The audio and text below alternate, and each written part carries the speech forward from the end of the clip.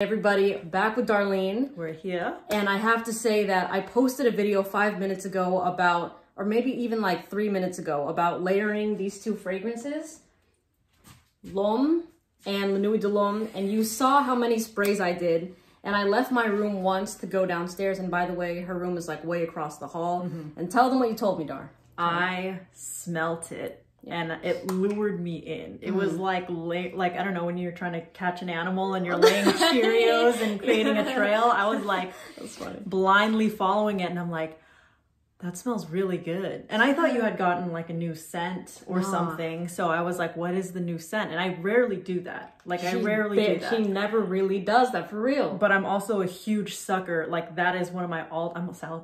You it smells right? yeah, yeah, yeah. um, I'm that is one of my all-time favorite scents. This one right here, but it smelled like different than usual. Yeah. I thought it was an all again completely different scent. Man, so dude. I mean, I and then she showed me that it was those two that she layered on, and I kind of wow. You like I it a lo- lot? I really love it. Like, how many sprays did you do of each? Well, I did six of this and I like hit the same three spots. So I did like two on the same spots. And then this was just like a, maybe like six or a little bit more of this because both of these are weak. So just to give you mm-hmm. some perspective, like I said, I left and then I came back into my room and then my door was open and I hear her door open and like a second later, she's like, something smells so good. Yeah. And then I was like, for real? And she's like, yeah, there's something that smells really good. And I told her like to come this way. And she's like, is that you? So like, even though these are weak in performance, like together, Smells so good. Though. yeah, and with like overspraying it, mm-hmm. like it, like she was able to smell it from like way on the other side of the hallway. Yeah, So, and I can say right now, like I'm very, I could be very sensitive to fragrances, Mm-hmm. but being in this room that she sprayed it all in, plus you're probably you're wearing it now. yeah. I'm, I'm not feeling like I'm gonna get a headache.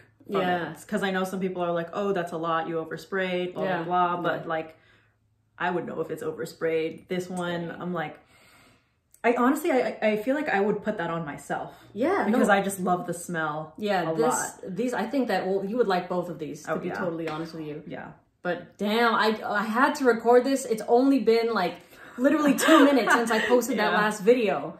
And I got a reaction like that, and everybody here loves Dar, so I had to put Dar's uh, reaction in here and bring her in to record a video. But I'm gonna put the names and the links of these fragrances in the description in case you want to get them for a discount site. I would suggest getting the big bottles of these because you overspray them.